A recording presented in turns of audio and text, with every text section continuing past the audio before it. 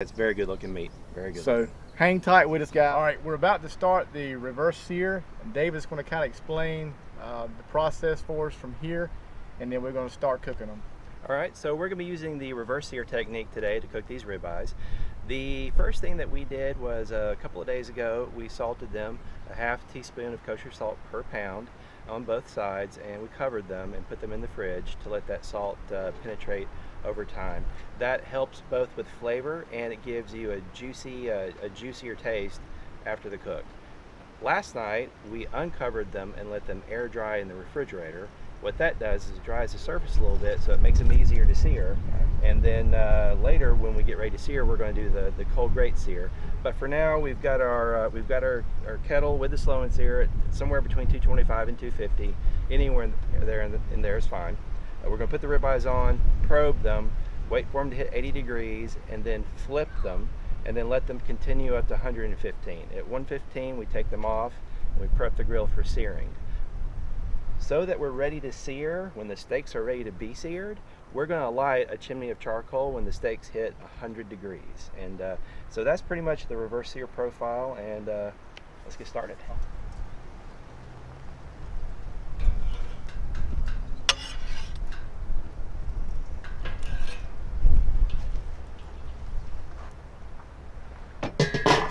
All right, the steaks have just reached 80 degrees, so we're gonna flip them over right quick.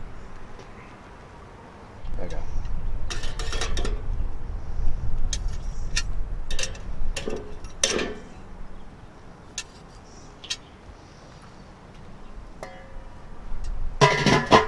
All right, your steak should be around 115 internal. We're gonna double check right quick with our Maverick Instant Read.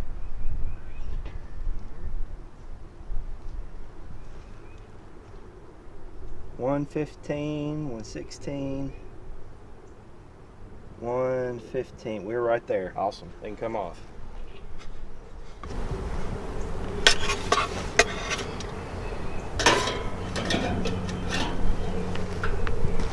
All right, the steaks just come off the grill. We got a full basket of charcoal. Dave, what's next? So what we're going to do now is prep the steaks for the sear. The first thing we're going to do is pat them dry with paper towels.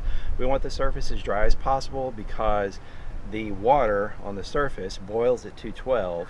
The Maillard reaction, which is what causes the sear to occur, happens at 300. So that water prevents the sear. We're going to get rid of the paper towels. Then we're going to lightly coat them with olive oil and apply a little cracked pepper. The cracked pepper is going to bloom in flavor during the sear. The olive oil is going to, uh, to smoke off, give us some extra flavor, help with the sear. And that's all we're going to have on there. We've got some oil, some pepper, some salt, and they're going to be awesome. So.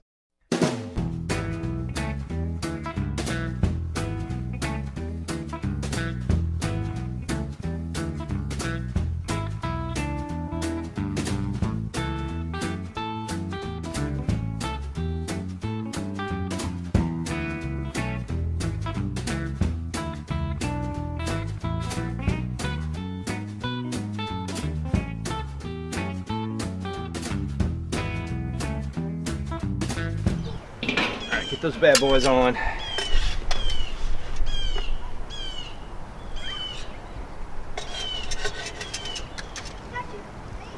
Alright, timing for a minute. Okay, why is it cold? So we put the grate on cold because we're actually wanting to sear with radiant heat coming from the charcoal and not conductive heat coming from the grate. And what you're going to see during the cook is it makes the steaks cook evenly all over and it prevents bitter flavors from occurring when oils and fats that get ignited on the surface of the steak by a hot grate Right. uh, burn. Okay. And uh, yeah, we'll just, uh, you know, we're gonna uh, rotate and flip every minute here because we wa- always want to have a cold portion of the grate over the hot fire. And we're gonna see what happens. All right, we're coming up on a minute, so we're gonna rotate and flip.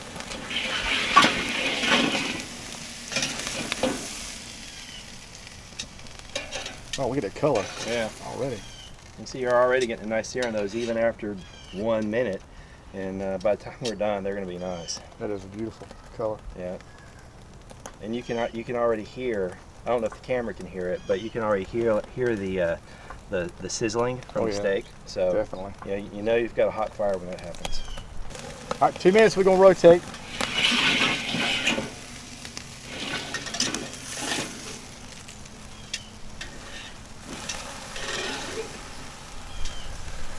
Not a bad idea to uh, go ahead and check your temperature. And uh, we're still in rare territory, so we can keep searing. All right, so we're gonna do another rotate and another flip.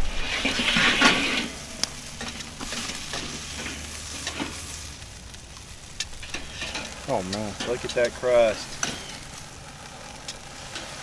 Now that is the Maillard reaction. That is beautiful. You want to get it um, over the sear zone. As long, as long as it's not over the reservoir, you should be fine. Gotcha. Yeah, there you go. Let this go another minute, and they, uh, at that point, should be close to medium rare. All right, we're gonna flip them over to the indirect side now.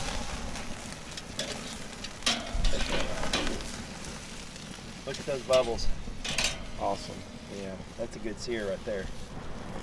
You can tell how the fat started separating on that steak that we're close to medium rare, but we'll tip them anyway.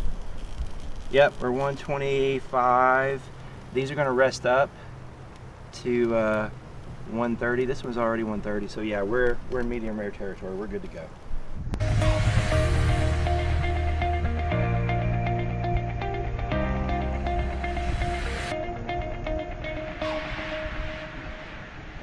All right, look at these steaks. They're beautiful. Dave's gonna cut into them right quick for us.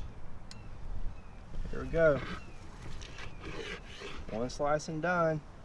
Ooh, look at that. Look at that juice. Man, Look at that. that is cooked perfect. Oh, nice. So let's get us pieces to chew on. Wow. Yep. Wall to wall, medium rare. Can't beat it. That's a big bite. I'll cut it. cut it. All right, I'm looking forward to this, day. Cheers. Cheers. Hmm. Man, that is so tender, so moist. The flavor is amazing. Absolutely amazing. That's probably one of the, if not the best steak I've ever had before, honestly. I'm trying not to say anything because I don't want to influence you, but yeah.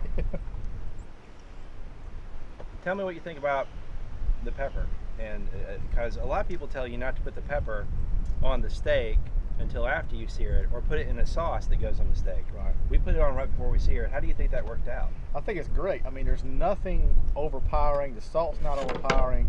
The, the, the pepper is not overpowering. It's just enough. It's subtle, and it you still got that nice beefy flavor. So you you're, it's not over seasoning. It's just it's the perfect amount of seasoning. I think. Do you think the pepper's burned? No, not at all. I mean, there's there's no bitter taste or burnt taste at all on these steaks. It's just amazing flavor. Which flavor? Yeah. It's so intense. Exactly. Mm. Love it.